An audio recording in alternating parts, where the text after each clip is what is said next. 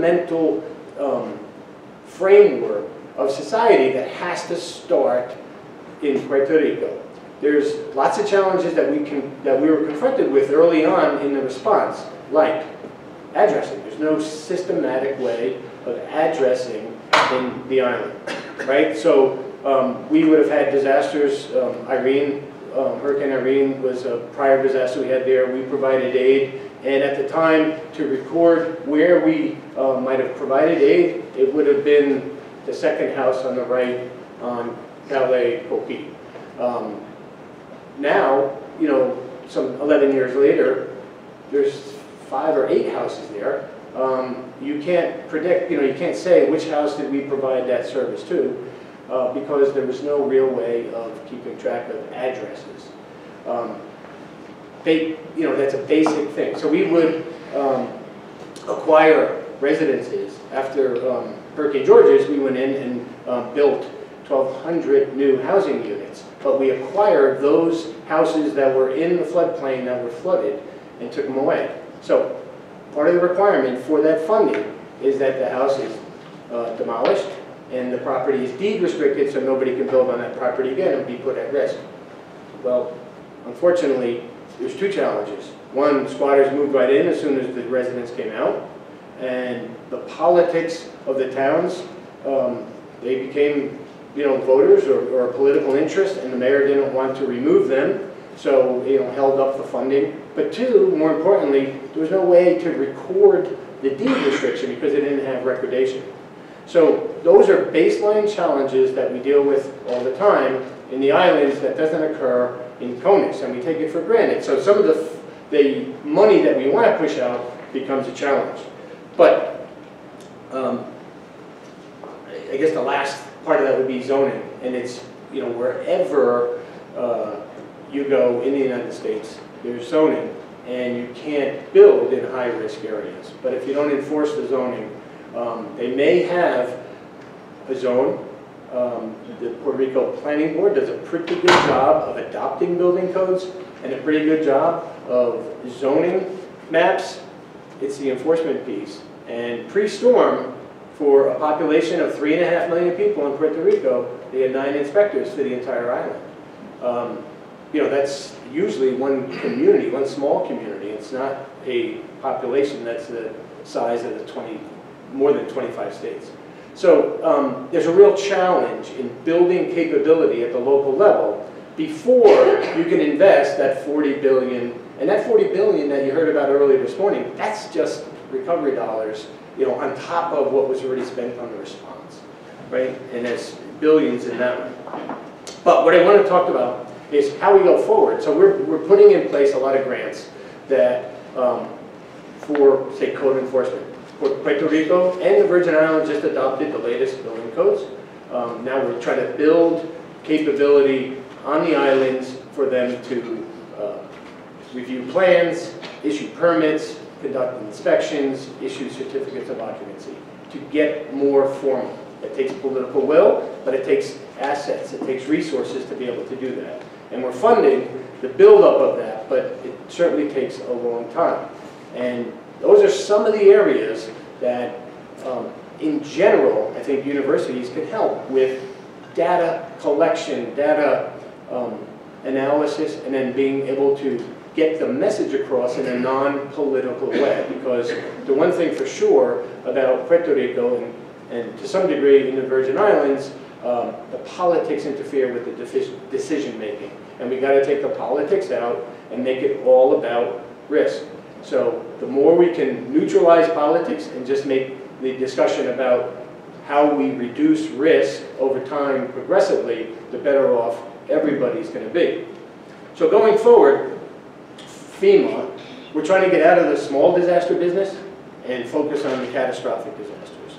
We're trying to focus on lifelines, right? The critical lifelines. So lifelines for us are the most fundamental services that communities need right? It's food, water, shelter is one lifeline. It's energy, health and medical, communications, transportation, safety and security, and hazardous materials. So if you just Google lifelines, um, FEMA lifelines, you'll see. That is now the way we're gonna go forward. Those are the focus areas for us to build capability at the state level.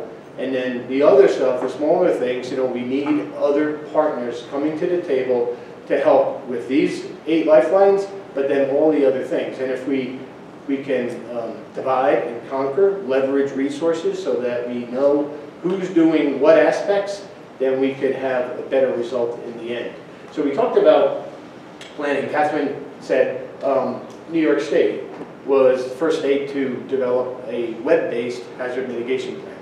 We spend a lot of time on hazard mitigation planning, and it's critical. The process is, really important to bring communities together, bring the state together.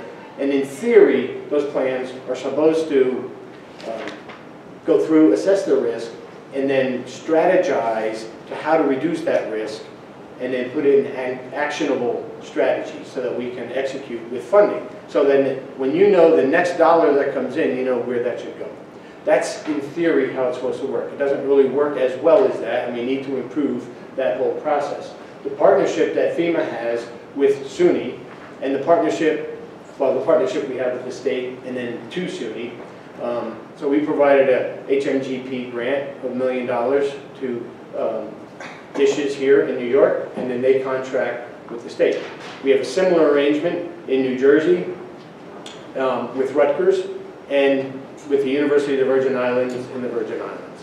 Um, so they're helping develop the state hazard mitigation plan. If we can get to more web-based planning that is more focused on risk reduction, it'll be easier for us than to take some of the other tools that we're talking about. And for us, we're developing, we have developed already community profiles so that we take all the available information that the federal government has about what we've spent in that community. It can be rolled up to the county or to the state level so that we're able to help kickstart the whole planning process and take that information and load it right into their hazard mitigation plan at the local level to reduce complexity, make it simpler, um, move things along quicker so they can focus more time and energy on the prioritization piece. And that's the part that's missing, that we really, really need help from universities to help facilitate the discussion to prioritize the actions, prioritize the strategies, because um, if you have a hundred different priorities, it's not prioritized and we can't, we don't know how to execute. And that's what delays the recovery in the end of the day. We can dump tons of money, but until we know how the state wants to execute, how that local government wants to execute, we're not going to be able to move because the federal government's not going to do it without them. So I hope uh, we have time for questions because I'd like to be able to have a conversation with you guys. Thank you.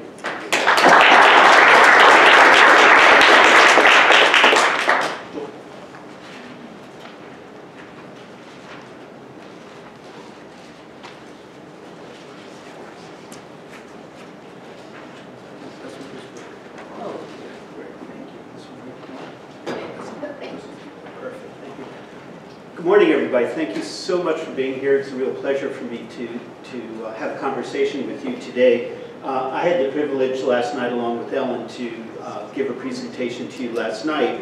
Um, so what I'd like to do today is do a little deeper dive into some of the comments I made last night and really put some meat on the bones, as it were. Um, before I forget, I did bring a fact sheet and a short four-page article uh, over there. Uh, there are copies over there if you'd like to grab them uh, after the presentation. And it'll give you even more information about what we're doing. Um, as I mentioned last night, our goal at the EPA is to empower all 40,000 communities across the entire United States to help those communities anticipate and prepare for the impacts of climate change. And I really want to focus on the word empower, and our regional administrator this morning emphasized this as well. We don't view our job at EPA as coming into communities and telling the communities what to do, but rather helping the, doing a lot of listening, having dialogues, trying to understand what the issues of concern are to the communities, and then empowering the communities to make more informed decisions. Um, again, this is within the context of EPA's mission. Uh, as Ellen said, each, agency has their own specific mission. our goal is to work with those communities to help protect uh, the environment and public health. Um, I, I really love this, this photograph up here. It's one of my favorites, and it's actually in our climate change adaptation plan from the agency. Um, for those of you who follow hockey, that's uh, Wayne Gretzky. And uh, the quote is, I skate to where the puck is going to be, not where it has been. And if you wonder where we get our inspiration sometimes, it's from people like this. When we work with communities, as I mentioned last night, we want to help communities certainly increase their resilience to extreme weather events and, and, climatic events under current climate, but we also want to work with them to build smarter. And again, you heard, you heard a lot about that this morning. Uh, we want to empower them to uh, and give them the resources and the tools in order to anticipate what future climate is going to look like and, and what those sorts of events will be in the future. So we want them to skate to where future climate will be, not where it has been. Um, we do that, um, oh, and I, I do want to again emphasize the challenge to us of trying to empower all 40,000 communities. We certainly at EPA do a lot of pilot projects through various programs, to work with individual communities. For example, our Office of Community Revitalization, which is in our policy office, spends millions of dollars every year coming in and working with individual communities doing pilot projects. And in fact, they've been in Puerto Rico doing some, some projects. But in the program I run, and I work with people uh, in, in, all of our regions, like Joel Siegel, who, Siegel, who is here, um, is, is to try to figure out how do we get to all 40,000 communities and give them the wherewithal to make, to build their own capacity and make decisions themselves? We do that through three mechanisms, excuse me, as I said last night. The first is through training. Uh, when we work with a lot of communities, they're overwhelmed with a lot of issues having nothing to do with climate change, feeding their people, educating their people, putting roofs over their heads. Um, and, and in many cases, they're not even aware why climate change impacts matters for the issues of concern for them. So we've worked and developed training modules. For example, we have a training module for local government officials to help them understand why climate change may matter for the things that they care about on a day-to-day -day basis. But again, this is an example about how we do business. We didn't develop this module on our own and throw it over the transom and, and say, this is why you should care but rather we worked with our local government advisory committee, which is an external advisory committee with mayors and county executives and others from across the country, public health officials, and we said to them, what would you like us to focus on as we develop our, this training module? And what they said to us is, don't focus on your individual programs at EPA, focus on the services that we, we are trying to provide to our communities on a day-to-day -day basis, and that's what the training module does. Another example, we have a training module for uh, the folks on the ground who worry about Superfund remediation, like in places like Puerto Rico. And, and um, again, I'll share an anecdote with you that makes it very real. Uh, one of the pictures I still have in my head is one from Houston after Hurricane Harvey hit of a Superfund site behind a fence underwater. And the headline was, where is EPA? Implicit in that is, is this Superfund site that we've remediated in fact resilient to these impacts or are those toxic materials seeping out into your drink, drinking water? I'm happy to say, and this is demonstrated in our training module, that when we did an assessment of how effective our remediation methods were to all the hurricanes in 2017, except for Maria, we're still doing that one, we in fact found that most of our remediation methods were in fact effective, and the training module helps people understand how, how to do that. Segueing, the next way we empower communities is through the provision of tools, training, excuse me, uh, tools, data, and information. Things like the CREATE tool, which is designed to empower every single water utility across the country, regardless of where you are, to assess what your vulnerabilities are to climate change impacts, and then to assess the different adaptation strategies that utility may choose to implement. Uh, our stormwater calculator, which you can use actually to, to zero in on where your home is and see how much storm runoff there will be from your own property, uh, as well as the community trying to assess how much stormwater runoff there might be into their sewer systems. Third is through financial mechanisms, financial resources. Again, as I said last night, the one thing we always hear when we talk to mayors and others is, what can we do for you? And they say, give us money in order to make these things happen. Sadly, I can't speak for other agencies. I don't believe there's a single pot of adaptation funds anywhere in the federal government. I wish there were. So we as agencies had to take a step back. And what we realized at EPA is we pass billions of dollars to states, tribes, and local communities every year through things like our Brownfields Grants Program, through our, um, uh, through our General Assistance Program for tribes and, and others, through our SRF program that transfers over $2 billion every year to states to invest in water infrastructure. And what we realized was a lot of times the recipients don't realize they can use those dollars in order to invest in climate adaptation. And in some cases where we have the authority to do so, we actually require that the dollars be used in that way, so taxpayer dollars aren't, aren't wasted on ineffective systems. In other cases where we have limited authority to tell uh, folks what to do with the money, we encourage them and make it clear to them that they can use the dollars in that way. And finally, very quickly, let me also emphasize, uh, especially for those of you from universities, we also invest heavily in research on, on climate change. I used to manage the Global Change Research Program in our Office of Research and Development, and we invest tens of millions of dollars every year to support universities doing climate change research. So that's what we do. Now, one of the things we heard last, there are actually two things, two threads I want to pull together. There was an excellent question from the audience last night, or an observation from a student who had actually been an intern at EPA in our Office of Research Development. And she said, I'm aware of all of these tools that you have. Can, is there a better way to make them accessible so people know you have them and that they can use them? That's number one. We needed a portal to get a central portal to get to all those resources. The second thread is listening to communities. As I mentioned last night, they recognize they're overwhelmed with all the climate information out there, like through the Georgetown Climate Center, Kresge, Rockefeller, ICLEI, and others.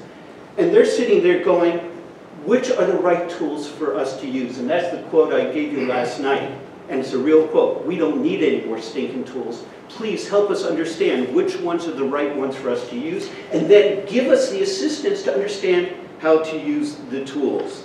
Um, that led us to the development of our Adaptation Resource Center, which I mentioned to you last night. And um, it, it is unlike any other resource currently available to the public to get at EPA's resources. Uh, it in fact enables, it enables local government officials, this is not for the general public, this is for local government officials like mayors and county executives, to get a package of, of, of information tailored specifically to their needs. Once they tell us where they live and what the issues of concern are to them within the context of EPA's mission, they instantaneously get an integrated package of information and they can follow a thread. First starting out with helping them understand why they might care about climate change impacts on the services that they're trying to provide to their communities. If they decide they care, they can follow the thread to the array of adaptation strategies that are out there to deal with these issues. If they decide there are particular adaptation strategies they want to implement, they then can go to our case study section. And I have to emphasize, the purpose, that these case studies are not just stories. Stories are great, but once they read the stories about how other communities with similar issues of concern has successfully adapted to climate change impacts, we then have we then lead to them to what we internally fondly call the quick start guide. It's like when you buy a television set and you pull it out of the box, you don't want all that technical information. You want the three or four key steps to understand what do you need to do to replicate the success story other, another community has. And then we link each of those steps to the available tools. So we take them to the right tools that they can consider using, and we don't stop there. We then take them to actual people at EPA and other federal agencies that they can contact with phone numbers and email addresses so that they can get in touch with them and say, can you provide me with the technical assistance to understand how to use the tool? I want to emphasize again, and I didn't get the chance to do this last night, it is non-prescriptive. We're not here to tell folks what to do, but rather to empower them to make more informed decisions. And finally, wrapping up, and I'll, I'll stop here, uh, I just want to highlight again um, uh, the opportunity identified last night that uh, our ARC-X system is a national system. We've got a big enough challenge trying to share information across the country, but we can't do a deep dive into any, any one, one state. So we're, we're making this offer to turn over free of charge the code and the content of the ARC-X system to a host university in any state. We already have a number of universities already do, uh, doing this work for their states, and, and we would be delighted to work with any host university anywhere in the country to develop a state-level version uh, for their own particular state. And lastly, I want to emphasize that once we transfer the code and the content to you and give you the technical assistance to, to develop the state-level version, you own the system. It's not ours anymore. You can develop it in any way that you want. And I'll stop there. Thank you.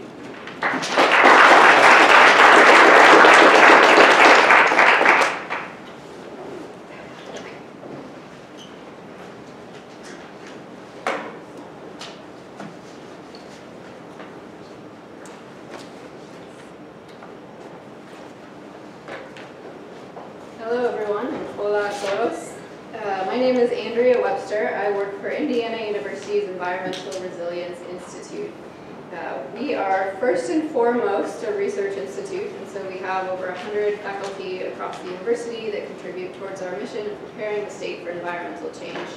Uh, but my job at the institute is to work with local governments around the state to help them prepare for climate change.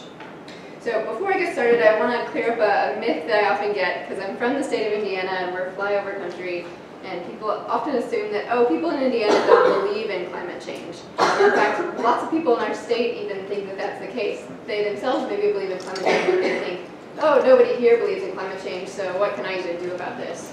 Well, we did a little pilot survey earlier this year, and we found that, in fact, four out of five Hoosiers believe that climate change is happening, that three out of four support efforts to address the impacts of climate change, and that three out of five believe that climate change is already harming people in the U.S. And so we're really excited to have this information to take to our mayors and county officials and tell them, actually, you do have the impetus, and people in your jurisdiction do want this to be happening. So I want to talk to you today about three different tools and strategies that, uh, that I'm working on to help bring climate adaptation to the state of Indiana.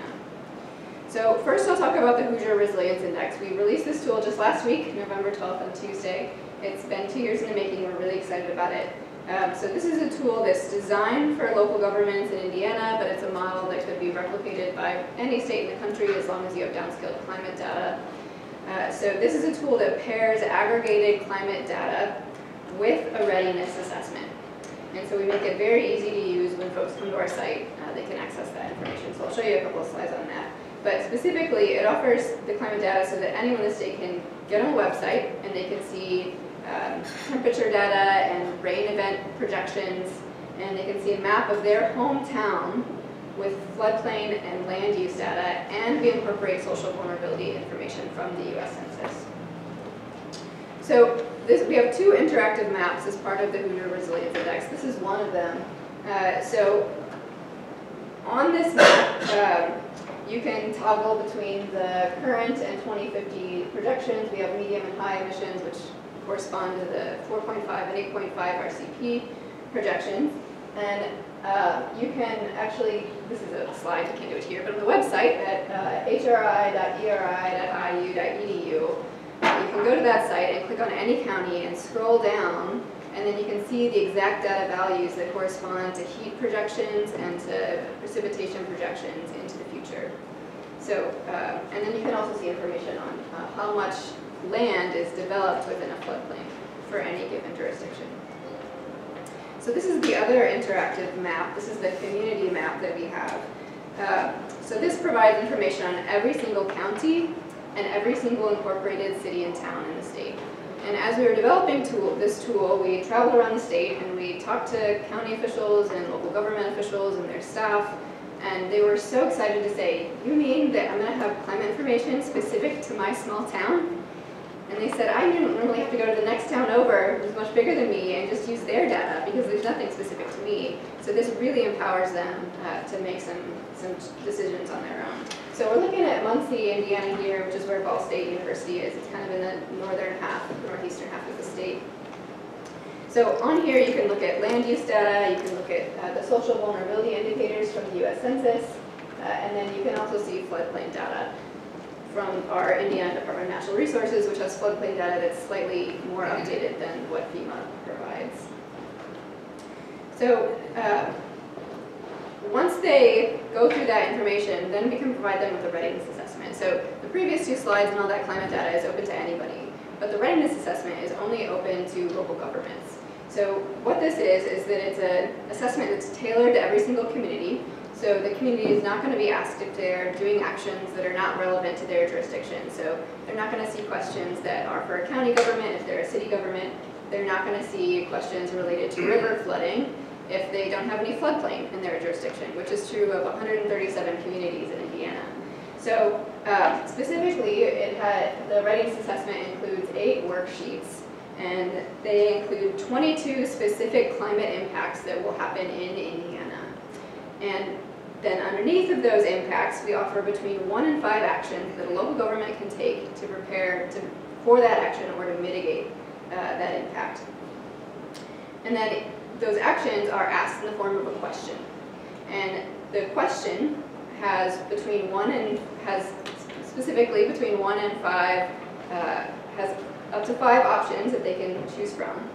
And it offers different levels of preparedness. So level one, for example, is no, I haven't done this action, we haven't considered it. But level five is, uh, yeah, we've done this, and we've done this in a very compre comprehensive way. Uh, and so when we beta tested this tool this summer, we had a, a local government town manager say to me, say to me, you know, I was going through the readiness assessment and I was mostly checking twos and threes, but every single time I was looking at the next level up and thinking about who I could partner with to make that happen. And so we were essentially just spelling out what they needed to do. And through the conversation with those beta communities, we realized that, you know, one of the very strong aspects of this tool is that town managers and mayors already have a full-time job, and we're throwing climate change on that, and they have no experience or training, the majority of them, in, uh, in climate adaptation or sustainability or climate science. And so if we can just kind of lay out for them exactly what they could do to start to manage these issues, and that would be really helpful. So, uh, so this is the Hoosier Resilience Index. That I hope you'll, you'll check it out. So the next tool we'll talk about is ERIT, the Environmental Resilience Institute Toolkit. So uh, at the end of Joel's talk, he mentioned that they are happy to give this, uh, the Adaptation Resource Center at EPA to any university uh, in the country to have them kind of make it their own. And Indiana University did that, uh, and we now have ERIT. So uh, what we've done is that we've taken the ARC-X tool and we've made it relevant to the Midwest and specifically to Indiana. So, you know, there are plenty of tools out there like this. You all know that. I don't have to tell you that. Um, but when you go there, they all talk about sea level rise. And when a mayor from Indiana visits an adaptation tool and it says sea level rise, they immediately close out of it because they think that's not for me. And so this tool is very much focused on our state. Uh, and and uh, so and, and in the left navigation menu, what I always point out to mayors is this is going to walk you through step by step from top to bottom how to prepare for climate change. So at the top we have what are the implications of climate change, how do I do adaptation planning, what are the specific adaptation strategies that can be used to prepare for climate change, um, what are my peers doing successfully to prepare. Um, there's funding, there's training, it's all the stuff that ARC-X offers, but it's just designed in a way that looks like Indiana uh, and, and feels like Indiana. So we're constantly updating this tool. Uh, this is not something that just has been sitting there. We launched it about a, a little over a year ago, and we've added uh, over 25 case studies specifically about Midwestern communities doing adaptation work. We have between 1,000 and 2,400 page views per month on average. Uh, and it cost us, the contract, uh, of course, EPA provided all the information free of charge. It was amazing. Uh, so that really got us started. Uh, and then we hired internally our, um, our IT department to help us build it. We signed a contract for $14,000. We didn't use all of it. So that's all it cost for us to develop this just for the state of Indiana. So this is great. And now we manage it with uh, 20 hours of staff time per week. So we have graduate students that are writing case studies and interviewing folks constantly adding new tools and pulling out things that are, are not relevant anymore. The final program I'll mention is our resilience cohort. Um, this is absolutely one of my favorites. I can't say good enough things, uh, enough good enough things about this program. so this is a group of Indiana local governments working on greenhouse gas reduction. So in 2019, this past summer, was the first time we ran this program, um, we had 14 communities sign up to do greenhouse gas inventories. Prior to this in Indiana, we had three communities in our entire state who had ever done a greenhouse gas inventory. And one of them was sort of like half complete. so, uh, so as a result of this program, we have now have eight of the 10 largest Indiana cities have completed inventories, which makes up 35% of our state's population. Uh, we partnered with ICLEI USA to provide the technical assistance, and the communities, all the communities had to pay was between 200 or 500 dollars, depending on their uh, their population size. And we gave them a, a student, IU student, to work with them over the summer to help them work on their greenhouse gas inventory. Uh, and it was really incredible how much this cohort program allowed the communities to then support themselves. So all the students, along with their uh, staff counterparts in their communities, created a GroupMe uh, on their that app, you know, that allows people to talk to one another, kind of as a joint text message. And so they solved all their problems, the majority of their problems, before they came to me or they came to ICLEI. And so, and they knew about the resources, and, and ICLEI has a platform, and uh, our office has a platform, and they were able to solve their issues before they came to us, which is the empowerment that, that Joel was talking about. So this is really incredible. And we're getting ready to launch uh, a second cohort this year that'll last uh, all year long. It'll start in January. Have these same communities do uh, climate action plans, and some of them will also do climate adaptation plans along with it. So um, that's all I have.